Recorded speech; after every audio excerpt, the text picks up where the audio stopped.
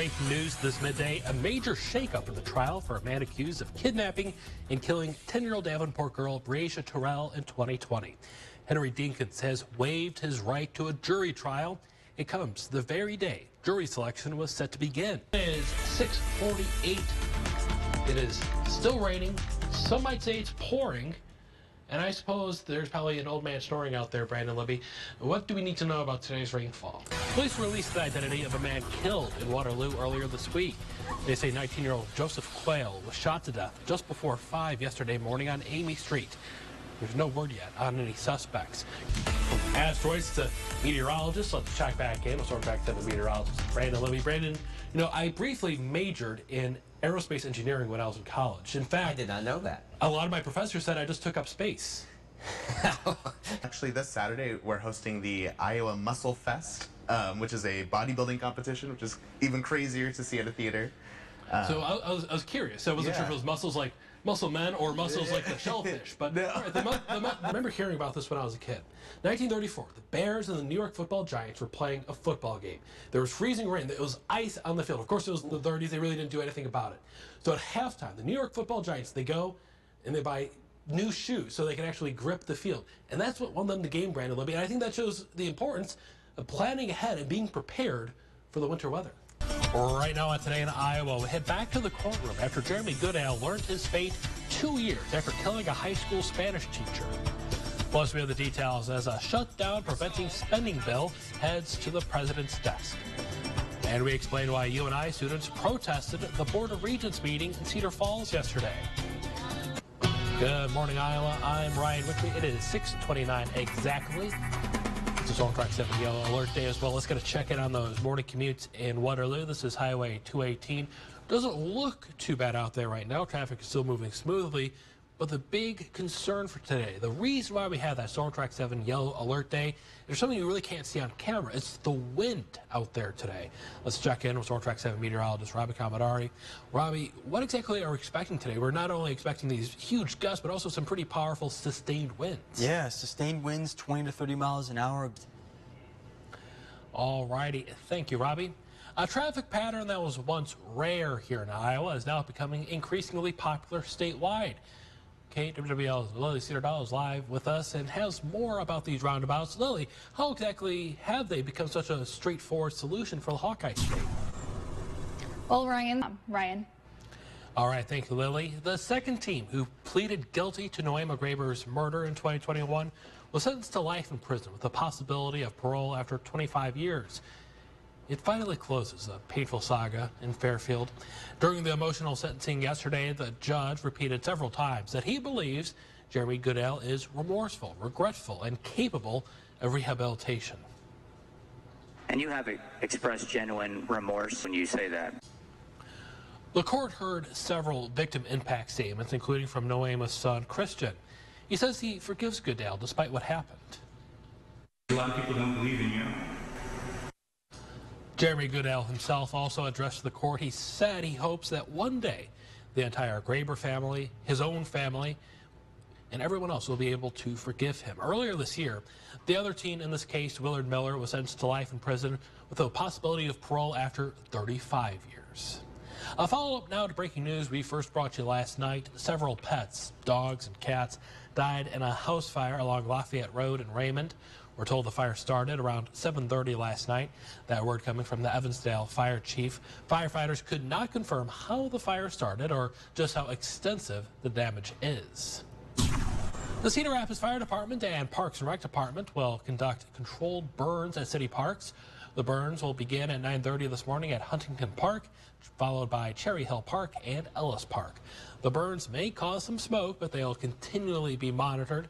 The city's Parks and Rec Department says these prairie burns are necessary for prairie management and prairie health, and they are one of the best ways to control invasive plants, saplings, and wood vegetation. UNI students rallied outside of the Board of Regents meeting in Cedar Falls yesterday. It comes as the regents discuss the future of diversity, equity, and inclusion programs at the University of Iowa, the University of Northern Iowa, and Iowa State University. The University of Iowa has 61 DEI staff members. Iowa State has 56. UNI has 25. UNI students spoke about the importance of these programs, as well as the services, training, and education they provide on campus. The study group also recommended not requiring people to submit pronouns or having faculty submit a DEI statement. The recommendations also include a provision telling those three public universities not to use race as a factor in admissions or hiring. Without these programs, students at UNI will lose some of its appeal. We all hold this idea that we value our education, we value our um, state's economy. Those three universities, University of Iowa, UNI, Iowa State, have all expressed concerns that they could lose some federal funding if they don't comply with DEI requirements. The board has until December 1st to consider those recommendations and send a final report to Governor Kim Reynolds. It looks like the federal government will stay open for now. A temporary spending plan is heading to the president's desk.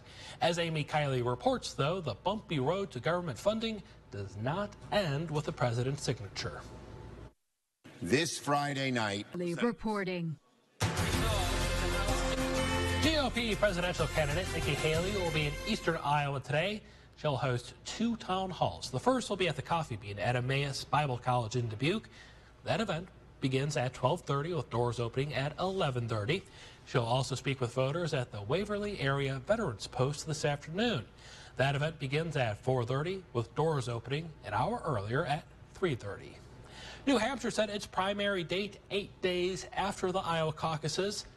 The state's primary will be held January 23rd. It defies President Biden and the Democratic National Committee's plans to give South Carolina the party's first primary contest. Iowa Democrats were stripped of their first of the nation status in the DNC's calendar. The caucus will still be held on January 15th. Results won't be released for a couple of weeks until Super Tuesday on March 5th. The conflict between Israel and Hamas is turning into a war of competing narratives after Israeli troops stormed the Al Shifa hospital. An Israeli spokesperson says they found proof that Hamas has been operating in hospitals. The Israeli military released images it says shows Hamas terrorist weapons like AK 47s inside the hospital.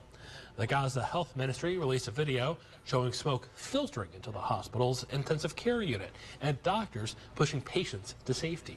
NBC News is unable to independently confirm either video. These weapons, this place, clinic. So far, it's not clear whether there are tunnels or a command center at the hospital. Hamas has rejected those allegations. One doctor said it was a frightening experience. Israeli Prime Minister Benjamin Netanyahu says there is no place in Gaza they will not reach to target Hamas. Coming up on Today in Iowa, the hits just keep coming for the Hawkeyes. With the details as they prepare for Illinois without one of their key stars. And we explain why this old book found in a retirement home here in Iowa is unlike any book most people have ever seen. We'll take a live look this morning along I-80 in Coralville. Interesting scenes out there with the early sunrise. It's 642. We are back in just a moment. KWWL's Today in Iowa anchor Ryan Witry spoke to experts and a local family on the front lines of the battle to learn more. Okay, I'll try again. Maybe you should use some bad words. I do say I say a lot of bad words. For 42 years, Rod and Lori Payne have stood by each other in good times and in bad, and especially recently in sickness and in health. He's my everything. You when you get mad? At home, the Paynes spend their time enjoying each other's company and a little bit of healthy competition. See, that's your fault, Rod. Huh? That's your fault. That's always mine. We bought a six foot Pac Man machine. So she'll sit there and play Pac Man. And, Oh, so do you. yeah. and we'll be playing quite a bit, and then all of a sudden the camera would have to shut off because she gets frustrated at those little guys eating her Pac Man. The Paynes have also taken solace in their shared love of music. They've even garnered the attention of musician and Iowa native Jay Allen.